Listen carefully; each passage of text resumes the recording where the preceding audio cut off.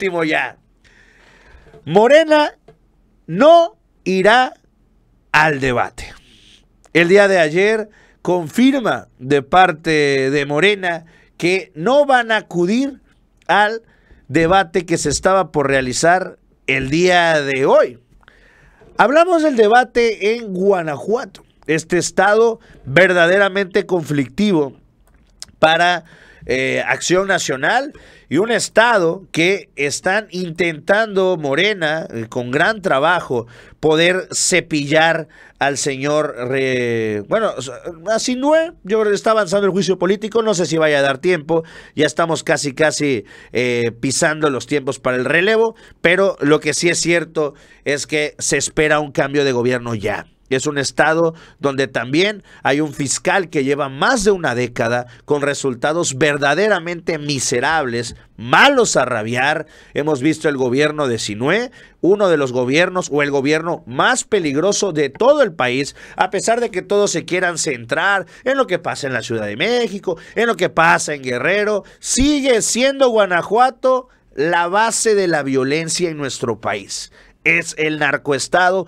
más peligroso de la actualidad. Y por eso también el día de ayer asegura la candidata morenista a Guanajuato que ella no se iba a prestar a esto y que no iba a ir al debate, un debate que precisamente no iba a ser organizado por el órgano electoral, sino que iba a ser un debate organizado por el sector empresarial, es decir, por los amigos de Claudio, los amigos de Sinué y también de estos empresarios, de estos narcos disfrazados de empresarios. Vamos a verlo. Cancela su participación a pocas horas del debate la candidata de Morena a la gubernatura de Guanajuato.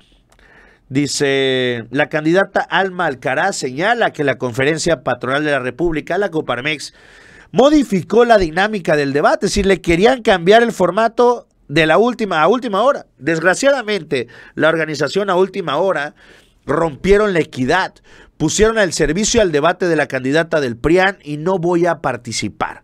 Alcaraz agregó que el gobierno del estado tuvo la injerencia, es decir, si no Sé que las presiones para convertir el debate en un evento de campaña han sido fuertes. Soy muy consistente de la injerencia que tiene el gobierno, eh, consciente, perdón, de la injerencia que tiene el gobierno del Estado en este formato. Agregó que los empresarios tienen años haciendo negocios en lo oscurito. Tómala. Finalmente retó a la candidata Livia Denise García a debatir una vez por semana. La Coparmex no emitió declaraciones al respecto. Vamos a escuchar lo que dijo la candidata morenista. Amigas y amigos, desde el primer minuto confirmé mi asistencia al debate organizado por la Coparmex. Solo pedí como condición imparcialidad de los organizadores, piso parejo para las tres candidatas. Siempre confié en el compromiso de los organizadores con la equidad. Desgraciadamente, ayer, a última hora, en el último minuto, la organización traicionó su palabra y cambió el formato rompieron con la equidad y pusieron el debate al servicio de la campaña de la candidata del PRIAN. Por eso, por eso no voy a participar en un debate que está hecho a modo. Soy consciente de que no es culpa de los organizadores, ni de los empresarios honestos que forman parte de la Coparmex, mucho menos de las y los guanajuatenses que no van a poder presenciar un debate imparcial. Sé que las presiones para convertir el debate en un evento de campaña de la candidata del PRIAN han sido muchas y muy fuertes. Soy muy consciente de la injerencia que tiene el gobierno del Estado en este cambio de formato. La élite empresarial lleva años, años haciendo negocios en lo oscurito con el gobierno del Estado. Creen que Guanajuato es su negocio, se han olvidado del pueblo, por eso hacen y deshacen a su antojo, no saben jugar limpio, sin hacer trampas, sin caer en actos de corrupción. No van a contar conmigo y no me voy a prestar a su juego. Y le pido a Livia Denise que debatamos, que tengamos un debate cada semana con cada uno de los temas que le urgen al Estado debatir, pero que lo hagamos en un terreno imparcial, en un terreno objetivo, como el Instituto Estatal Electoral. La democracia, la democracia lo, necesita, los ciudadanos lo merecen. Y es que si Noé está verdaderamente preocupado, eh, ha sido cuestionado a rabiar eh, por la ciudadanía. Y bueno, las encuestas, a pesar de que, bueno, yo he visto algunas de ellas y todavía apuntan a que, a que ¿cómo se llama? Guanajuato todavía está en una pequeña mayoría. Ahorita le vamos a poner la encuesta, dame un segundo. Eh, está todavía con Acción Nacional. La gente, pues tiene, pues temor, es una realidad. A ver, vamos a ponerlo por acá. A ver, a ver, a ver. Ahí está. Así van las encuestas, ahí en Guanajuato.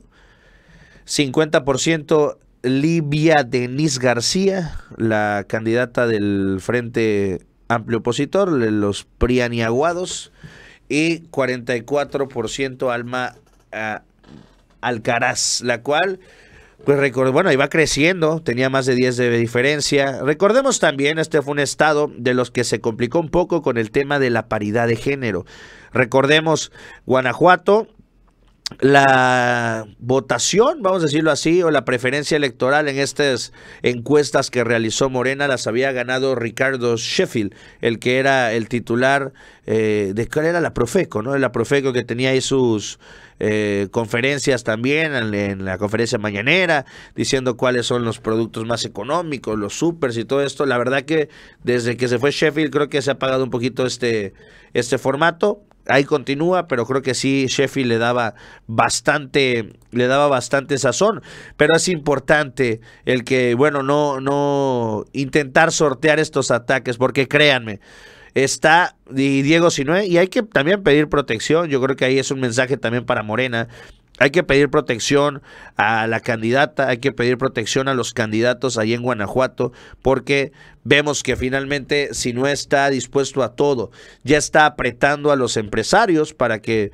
pues no permitan que Alcaraz llegue, y también están apretando, créanme, a los grupos organizados de los bandidos para evitar a como lugar que, eh, pues sí, que llegue Morena al gobierno. ¿Por qué?